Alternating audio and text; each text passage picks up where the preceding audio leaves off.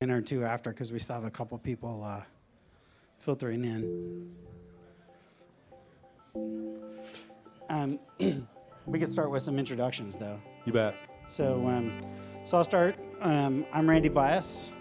Um, I am on the OpenStack Foundation Board of Directors.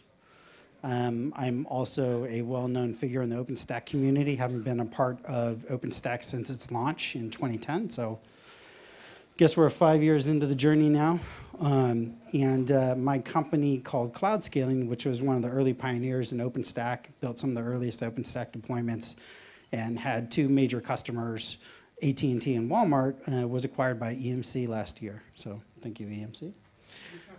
um, and um, for those who don't know, like before I was doing the whole cloud thing, I'm a long time infrastructure guy. So I've been doing information security, storage, networking, automation, all that stuff for a very, very long time, an uncomfortably long time, almost 25 years now. Um, and uh, then I'll let Jeff introduce himself. You bet. Hello, my name is uh, Jeff Thomas. I am a systems engineering leader for ScaleIO, so I handle our pre-sales and make sure that our installations get done uh, properly most of the time. Great. So um, for those of you, so first of all, it's great that we have such a, a, a, great turnout here to see this today, and we're really excited to show you. But for those who aren't familiar, there was a blog posting that I did, um, kind of talking about uh, the architecture of Ceph and what I saw as some of the problems. Um, and so you want to go ahead and go to the next slide. And so um, we decided to kind of talk about this, you know, and actually do a live demonstration and kind of show you ScaleIO's perform performance versus Ceph. And the rationale behind this, and this is, this is a little bit funny because the Red Hat people were giving me a little bit of grief. They're like, oh, you're validating Ceph. And I'm like, I don't need to validate Ceph. Ceph's already validated, right? It's like 62% of OpenStack deployments, according to the latest user survey, um, are using Ceph. See, there I go. I'm marketing Ceph, my competitor's product, right? That's, that's how I roll. Um, but the point is, is that EMC has been doing block storage for a long time, right? I mean, we're the leader globally if you look outside of OpenStack. And so I thought it made sense to kind of, you know, really kind of bake these things off. You know, we, we're, we're the startup. I hate to say it. We're the startup. We're the little guy in OpenStack. Only 5% of OpenStack deployments use EMC storage. Part of my job is to change that. So we're here today to show you why. Um, so what's interesting, go ahead and next slide. What's interesting is that um, if you are thinking about uh, block storage, most people who want block storage are looking for performance because performance matters, right? I mean, tier one, tier two, tier three, right? You care about performance if it's tier one block storage, right? And so I think the challenge is, you know, how do we determine um, why Ceph is so dominant? I think that in a large, uh, uh, there's a couple of different reasons why Ceph is so dominant in OpenStack. So I think the first is that it's multi-protocol, right? You get block, you get object, you get file. That's fine, that's great. Second is that it's open source and it doesn't have a lot of peers, right? It used to compete with Gluster and then Red Hat bought Inktank. So now they don't compete or something, I'm not sure. Um, but the point is, is that um, you know, a lot of people, if you look at sort of the um, actual uh, data around the OpenStack user survey, the number one block device driver in, under Cinder is Ceph. Now, not Ceph file system, not Ceph object, but Ceph block. um, and so I think that's interesting because I think most people are expecting high performance from block storage, right?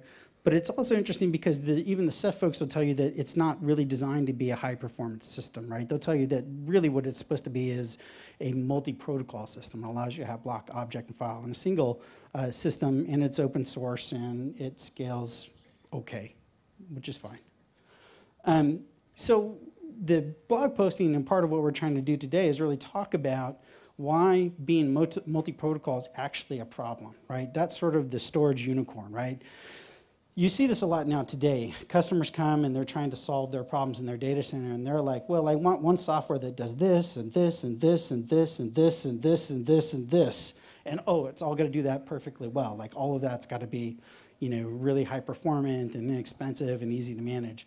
These things just don't exist, right? So single purpose tools sometimes are better, right? Would you rather, if you're out in the forest and you're camping, right? You know, you're Mount Fuji and you're camping, Do you want a Swiss Army knife or do you want like a set of tools that will help you build a shelter for the night? It depends, right? If you're going to be there for one night, probably a Swiss Army knife is good enough, right? If you're going to be there for a week, you probably should have like a belt full of tools. Um, I think I covered a bunch of this. So these trade-offs, that's what the key is that to look at today is like, how does Ceph achieve being multi-protocol, right? Because block, object, and file are all a little bit different. They all are trying to accomplish slightly different goals, and so some compromises have to be made. And so we want to show you what the result is of those compromises, so we decided to do this bake-off, and we're going to continue to look at this stuff. And so, um, you know, this isn't to say Ceph is bad, okay? So like I said, Swiss Army knife, Ceph's appropriate for certain things. Um, if I was going to build a small system of, say, like five servers in a rack, and I didn't care about scaling it past five servers, and I didn't want to deploy, you know, EMC ScaleIO plus EMC ECS plus EMC whatever, you know, then I wouldn't, I, you know, I, I would prefer Ceph, right? It would make sense at five servers, but I, I don't care about five server deployments. I care about like five rack and above deployments because that's the only way I think you get value out of cloud. That's my particular bias. All right, with that, I'm going to hand off to Jeff, who's going to start running us through this, and there will be lots of time. Um, we've got a few times where we're resetting the environment, so there'll be lots of times to ask questions, um, to uh, poke fun, or whatever it is that you need to do. All right, thanks, Randy. So uh, just to reiterate, we are going to be doing a block bake-off. So Ceph does many things. We're going to be concentrated on the uh, RBD portion of it. When we look at the way Ceph works compared to ScaleIO, I think a lot of you probably have a good notion of how this works. But for those of you that don't, um, Ceph is traditionally deployed in a kind of a two-layer client and server environment where um, you've got clients that are going to run the Ceph client, and then on the back-end servers, you've got um, the the Rados infrastructure, right, which lets us scale out and um, have the ability to you know, put as many servers as you want to scale out underneath that. So when a VM goes to write a block, it's going to write to that Ceph client. The Ceph client's going to push it down to RBD, goes through the object translation layer, through the Linux file system, and down to disk. For ScaleIO, we have a similar approach. We have a notion of a client and a server, and that client um, is going to install in a hypervisor inside a, um, a Linux operating system we can deploy in both this two-layer configuration as well as a hyper-converged one. For the tests that we're going to do today, we're going to deploy it in two layers so that we have a very much like-to-like when we're comparing Ceph to ScaleIO. As you can kind of see, as, as, we, as we build this out and we look at the, the data path that a particular block's going to take as it's written, there's a VM's going to write a block to a virtual disk. The Ceph client is going to receive that block. That's going to get sent to RBD. RBD maps to the Rados objects. That gets written to the file system and, and down to disk. So Rados is the common layer, the object layer that Ceph is using to basically allow multi-protocol heads, right? Yep. So And it, it allows for the scaling out. So I can keep adding servers, and Rados is that layer that's going to let me um, have more and more servers as I scale that out. it knows where all the servers are in the cluster, and as a block request comes in through the RBD gateway, which is the block device gateway, it gets mapped into that object layer. And then it's not like a one-for-one mapping, right? I mean, the objects that Ceph uses are kind of fixed sizes, I think like a megabyte or something like that. Help me out. No, I don't mind if you huckle, that's why you're sitting up front. RBD gateway. Huh? There's no RBD gateway, it does it on the client side, and then uses RBD Rados protocol to talk to the OSDs. Okay. Uh, Just terminology correction, sorry. All right. Yeah, Thank no you. worries. I don't, I don't want this to be inaccurate. I appreciate any corrections. All right. So um, when ScaleIO goes to write to, or VM goes to write to a, a virtual disk, this, the ScaleIO data client is going to receive that block. It's going to forward that out to the ScaleIO data server, and that's going to go down to disk. So main point here, a lot less steps to get from the VM that's doing the writing down to disk. Are they all uh, network attached uh, through the Stack or? This is all done over IP, both, both uh, configurations. Uh, the question was, is this, um, is this all done over a TCP IP network? The answer is definitely yes. So with both the Ceph solution and the ScaleIO solution, um, IP protocols are used. From a deployment perspective, um, as I kind of introduced there a minute ago, there's a ScaleIO data client as well as a ScaleIO data server. We're going to be uh, running our tests today in this two-layer configuration where we've got storage servers that are just uh, advertising out disk and clients that are consuming that, but we can run this very much in a hyper-converged way, and that's uh, what most of our customers actually deploy this in production as. Um, we've chosen to use um, Amazon, an Amazon instance here in Japan, to build out these tests. Um, we have a management network that we use to communicate the machines, as well as a storage network where the back-end storage traffic is going to go. The five client machines that are out there um, are running both the RBD client and our SDC client. And these are C4 large compute optimized instances that are out there. From the server side, we have five each of both Ceph and ScaleIO servers. Uh, and we're going to start off with a test running with two devices on each one of those servers. Now, part of the reason we've chosen to use Amazon is we wanted to make sure we were giving the exact same resources to both Ceph and ScaleIO. The devices that we're using are EBS devices that each have 3,000 provisioned IOPS. Provisioned IOPS means we're guaranteed by Amazon to be able to have 3,000 IOPS out of each one of those devices. Now, if we, if we look at the kind of performance that we should get, and, uh, and what we hope to show you today is that ScaleIO can exploit all that underlying performance that is out there. So this first test that we're going to run, five hosts, two devices. So I end up with 10 of those 3,000 IOP devices, which gives me the ability or the IOP potential of 3,000 IOPS. Um, we're going to run a second test where we scale up that configuration. We're going to add devices to those same five servers, and then we'll do another one where we add five more servers, so a scale out test with both. We're going to run a 50-50 read-write workload. Um, it makes it a little easier to kind of understand what's going on if we just run a single workload in the, in the short time period that we have here today. How big are the blocks?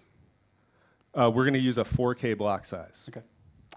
Um, if we look at what we're going to expect from an IOP potential, there's a notion of both front-end IOPS that the client sees, as well as back-end IOPS that happen on the storage. So ScaleIO uses a two-copy protection scheme. We've got Ceph set up the same way to have two copies as well. So we'll expect to see 20,000 IOPS out of the ScaleIO system. And then as we run these additional tests, we'll, we'll scale that up as well. And we should see this linear scaling then, right? You bet, absolutely. So the first test we're going to run through, um, 80 gig volumes on each of those five clients. We're going to kick off an FIO job and, and look and see what happens. And this is just a single thread FIO on each instance, basically? That's correct. Okay. All right, so we can uh, take a quick look here at Go the, ahead. the Ceph Health. Caching uh, enabled? Caching enabled? We're not doing caching because we're effectively using SSD devices. Caching would slow us down. So caching is disabled at the client when you run FIO? Yep. So for the Ceph config, you have the journal data on the same disk? Ceph config has the journal data on the same disk? Yes. So we can see here our Ceph configuration. We've got five machines, each with two devices. And those SSDs, right? Also SSDs. Right? These are the EBS SSDs. These are EBS um, volumes with 3,000 guaranteed provisioned IOPS. So what's underneath there? That may be a whole bunch of physical disks. It may be a single SSD. Amazon's abstracting that away from us, but we'll see on a per device basis that we're getting those uh, 3,000 IOPS each.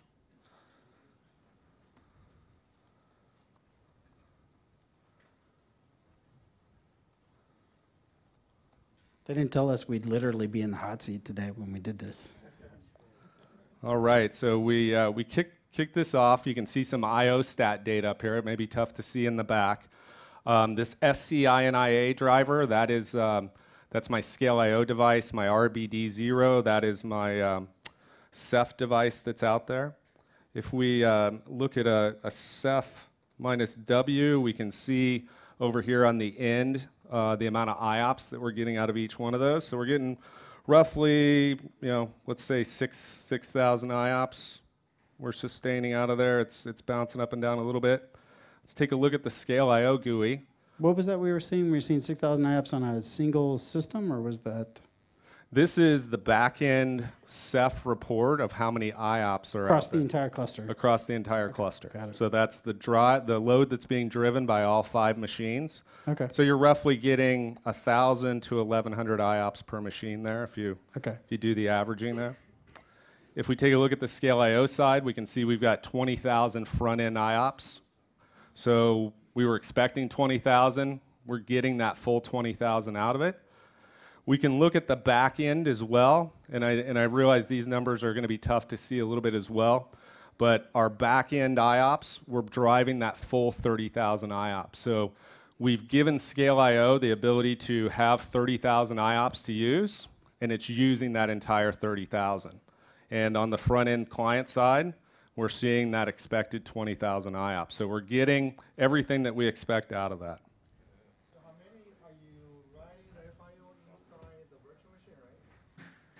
Uh, yes.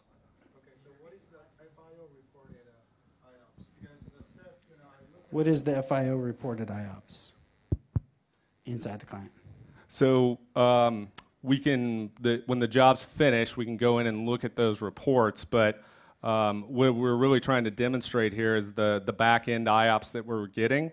Um, you know, if we look at the average of the, these numbers along here, it's roughly five or six thousand IOPS on the back end total. Yeah, this data looks like if you plus the read, if you uh, add up the read and write, then divided by the ops, then you get roughly about a 2K and of the block size. I think that's the problem of the Ceph bankend reporting. So you're running the 4K, but if you look at the bankend reporting, it's kind of reporting at the 2K, you know, block size. I don't know. You look at the detail of the Ceph W or not.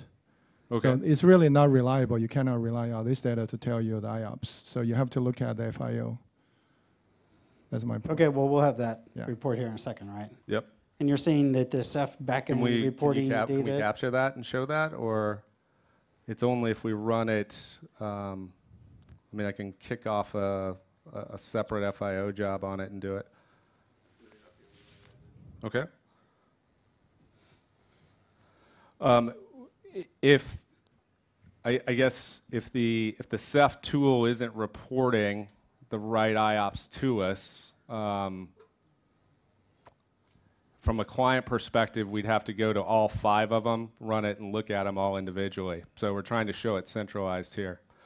We certainly um, we have all the stuff running in our booth as well, and if we want to come, if you want to come down later and we drill into all of it, certainly happy to do that. Yeah, and happy to have you help us tune Ceph if you like as well. Absolutely, no problem with that. I mean, I, the reality here is that, you know, this isn't about Ceph bad. That is not what this is about, right? Ceph has a place, right? The argument we're making is that if you want high performance block distributed, that a pure tool, a tool that's designed for that end to end, is ultimately better for the high performance use case. And if you don't want high performance block, and Ceph's good enough for your use case, power to you, man. Do it, right? No problem.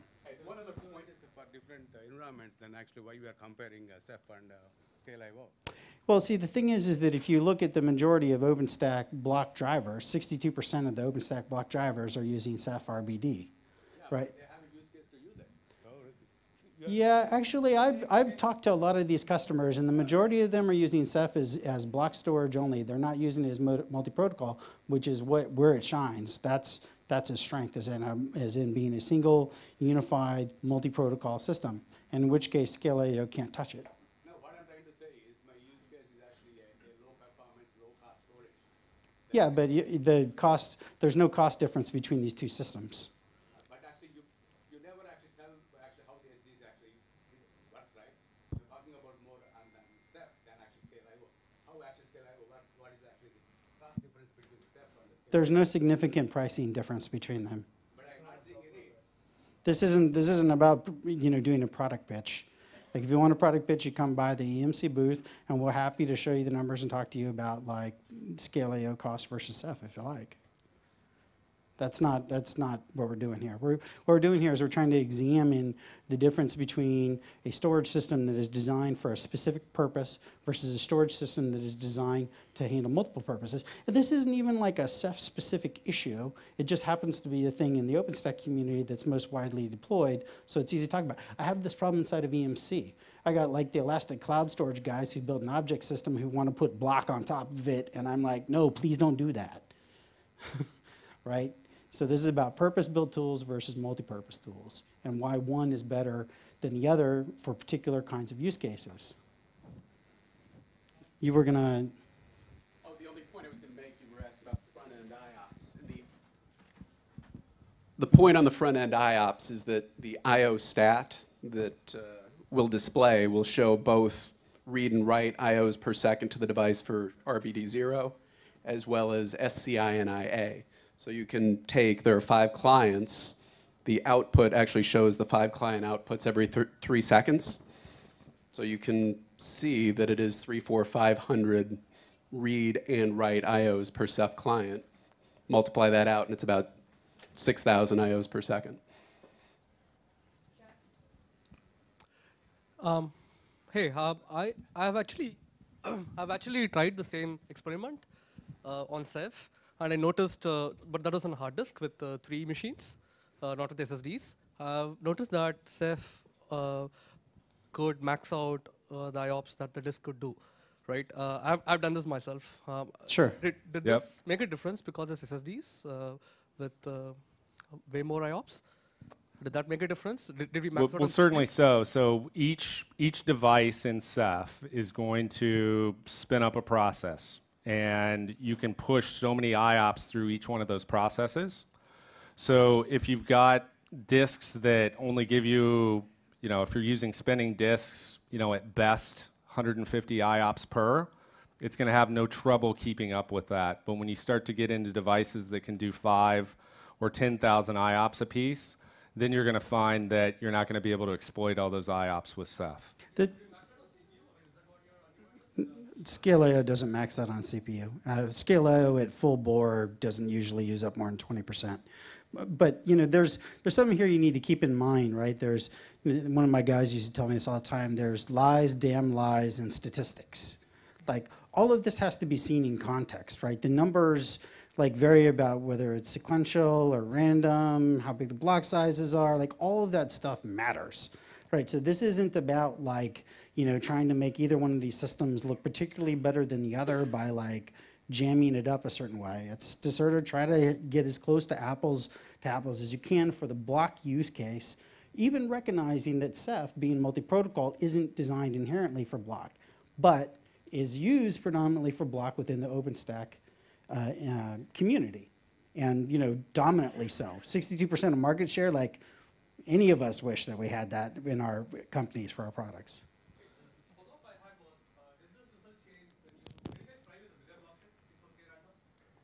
64K block sizes, random? I don't, I, I. We're not we're not going to during this test because we had to pick one to kind of go through. We certainly can do that.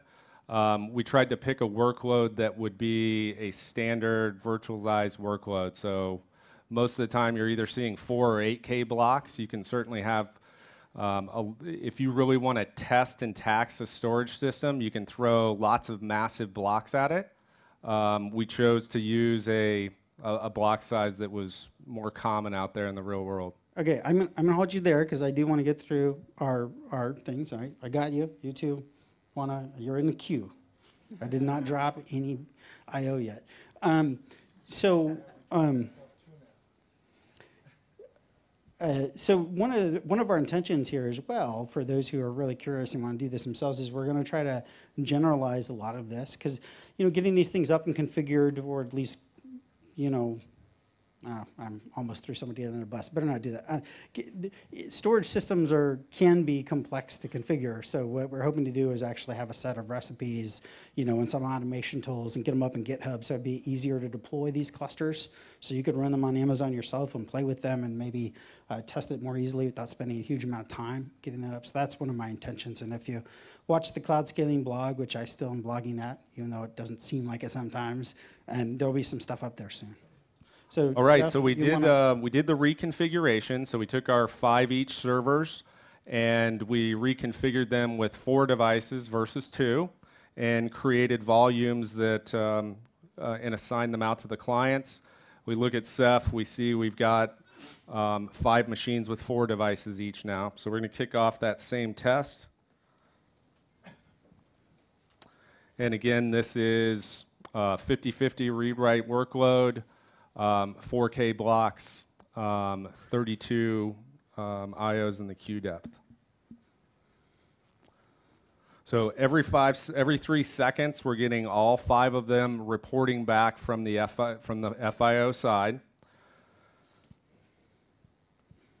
If we take a look at at uh, Ceph minus W, we see we're getting a little bit more performance out of it this time. So are you running both at the same time or one after the other? I'm running the clients concurrently, so they're both pushing the load at the same time. That's why we used heavy compute instances to to run the load So there's two FIO processes running in parallel. in parallel on each on the, on each of those five clients. By looking at the IO stat on the back end, you really cannot tell. It would be more interesting, I'm thinking that if you run um, sequentially one after the other, see how the IO stat on the back end of this is gonna. You know, we uh, we did that um, several times and got the exact same result. So decided to bring them together so that we could, you know, IO static show the same result? yep. Jeff, Jeff,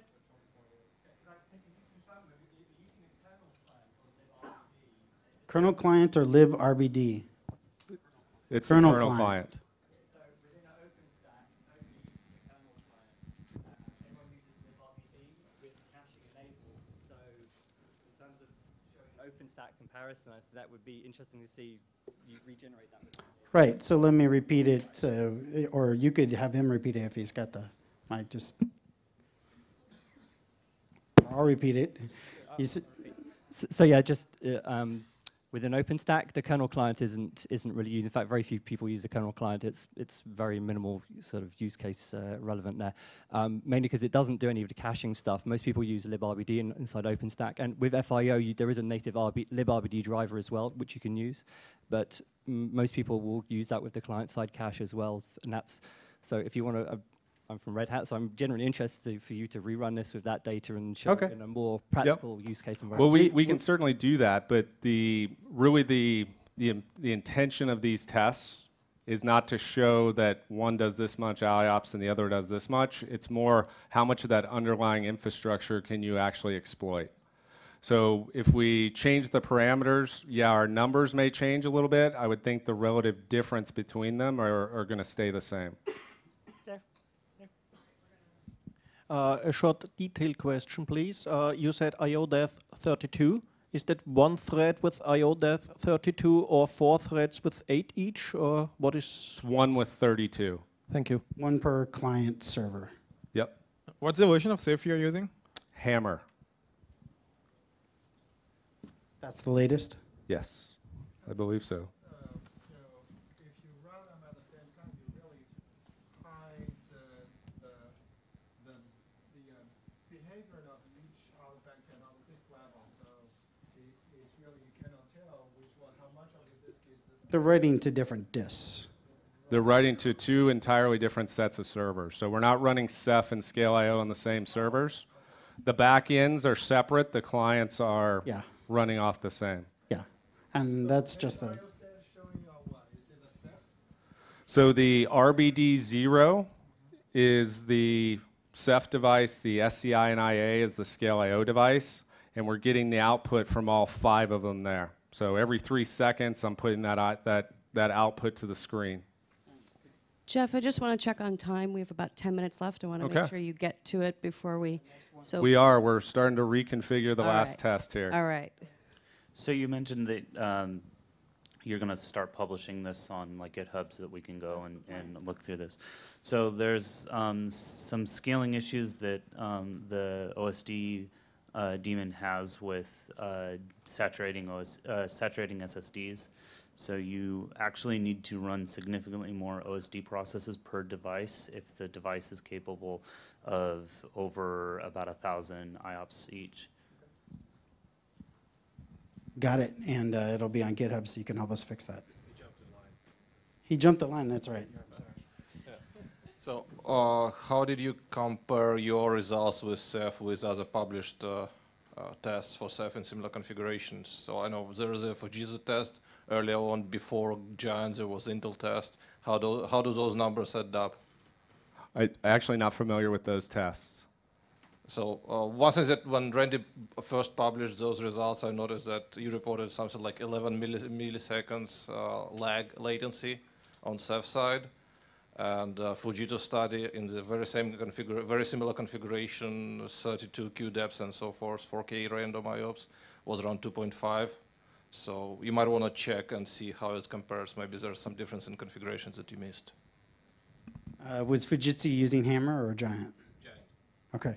All right. I'll, I'll take a note to go check that out. Now, I, I will freely admit that the performance engineers who did that were ScaleIO performance engineers. And if you know my reputation, I'm going to try to do this as fair as possible and be as honest as possible. So if they miss something, I'm more than happy to correct them and make it public. Yeah, which is why it's important to compare with other studies. Yeah, yeah, you know, you got the same problem I do, man. There's so much time in the day. So I, I, I you, you call me on it, and I go fix it.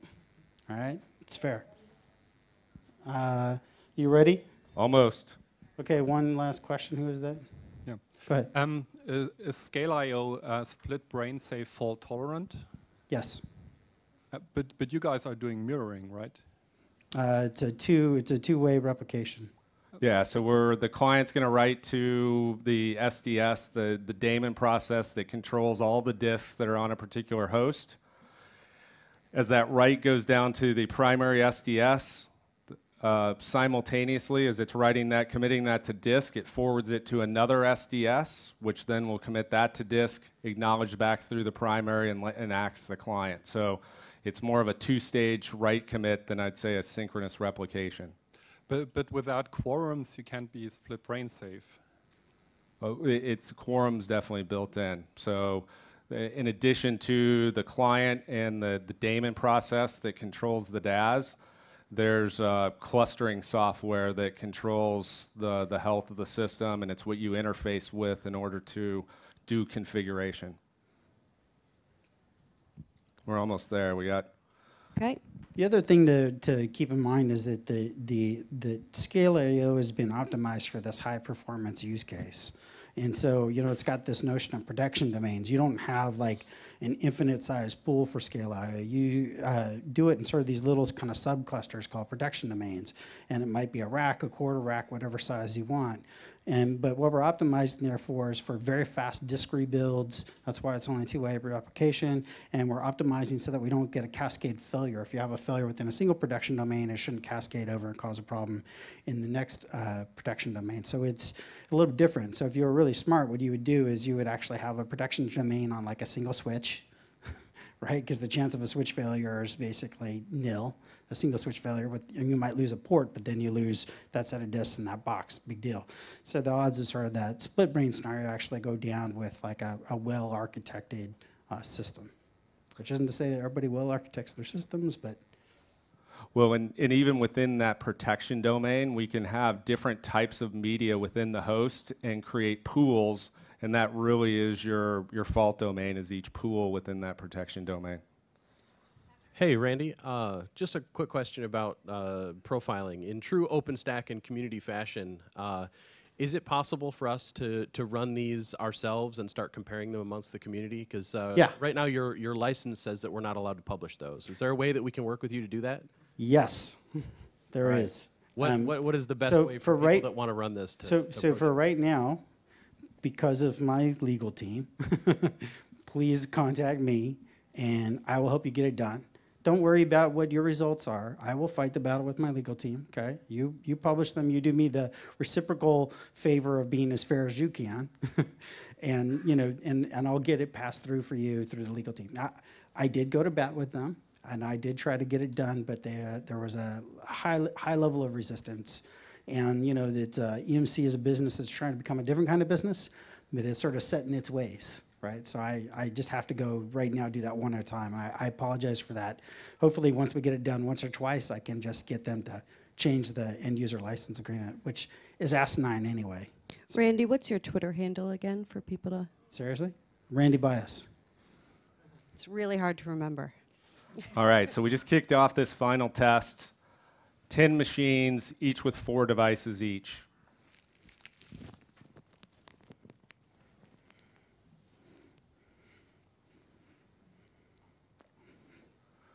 You can see there we're getting, uh, we're getting more IOPS this time out of Ceph. If we go over and look at ScaleIO,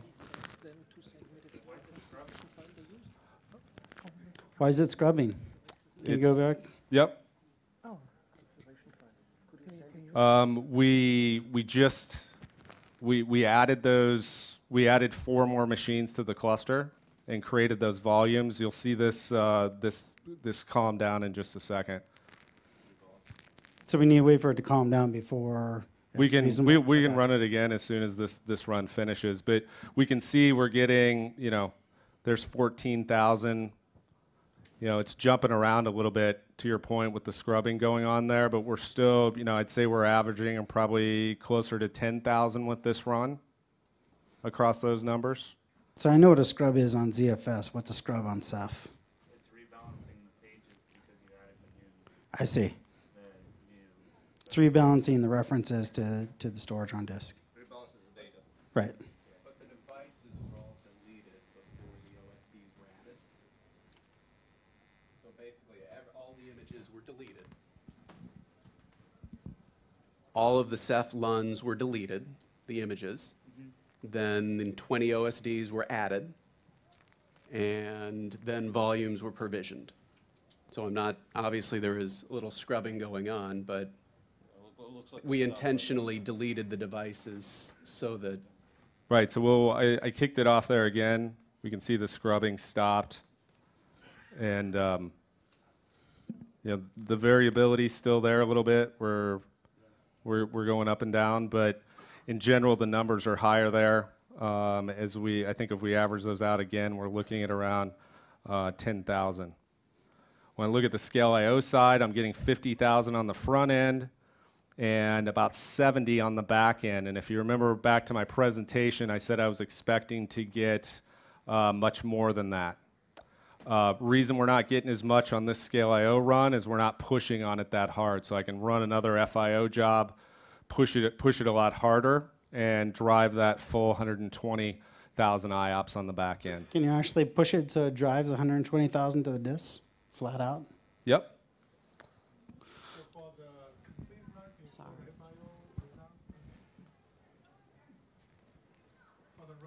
Can you see this gentleman here in the front who can, who could do that for you? Yep. I'd like spend time with you after this and actually look at it in real time with you, okay? But, I mean, I'm more concerned about, you know, the numbers that you read of that, as I said, uh, if you look at a Ceph dash W report, it's really not reflecting the true IOPS, whatever you Yeah, this is pretty close. Yeah, it is. Jeff, we've got about one minute left. Okay. Ju- Just a quick thing. Uh, a couple of things. Uh, first is what is your ratio between reads and writes? 50 50? 50 50. And uh, do you do any caching at the Scala side? No. So there's no caching at all? Completely? Not in this mean- test. We certainly can configure the system to do that. When we use um, SSDs or high IOP devices, uh, putting cache in front of them actually slows them down. So we turn off cache on the ScaleIO side. So if anyone has additional questions, we are running Oh. this same demo live. I have, I have Scale booth. IO t-shirts for everybody who answered a question and everybody who's from Red Hat. So please feel free to come down to EMC. Make sure you get the right size. If, If you didn't get it the first time, uh, Dolores will give you another one. But thank you very much. Yes, Really thank you. it.